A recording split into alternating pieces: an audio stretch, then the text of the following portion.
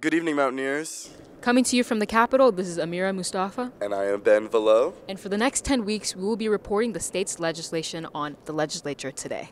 Before we get started with all of that, we figured we would take a few moments to just introduce ourselves. My name is Ameera, and I'm a graduating senior in the class of 2024. I'm from Charleston, and I'm so excited to be a reporter for the legislature today. Youth involvement in politics has always been something I've advocated for, and that's why I urge everyone listening to please remember to vote. Our country is built on democracy, and it's our job as citizens to preserve this process. Every vote counts. I plan on majoring in English with a minor in political science, and I one day aspire to become a lawyer. My name is Ben, another graduating senior of the class of 2024.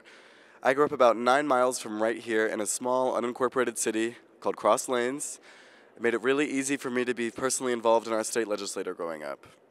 My parents are English teachers with a passion for politics and a desire for a better West Virginia, and I think that it's their devotion to community efforts that have made me search for greater education in fields like psychology, political science, fields that will eventually lead me to spread acceptance in halls like this.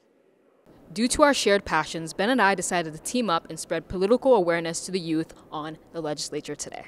Our elected officials just got to their offices this past Wednesday, and so while they're getting settled in, we figured we would take a few moments to tell you why it is that they're here. Every year on the second Wednesday of January, our elected officials meet for 60 consecutive days in a period we call the legislative session. There are three branches of government the executive, the judicial, and the legislative. But for the next few weeks, we will only be focusing on the legislative, but it is still imperative to focus and educate yourself on elected officials from all three branches. Where do these elected officials come from?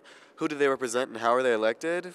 That all comes from the district. Our legislature is split up into two houses the Senate and the House of Delegates. There are 17 senatorial districts and 100 delegate districts. Each senatorial district elects two senators, while each delegate district elects one delegate.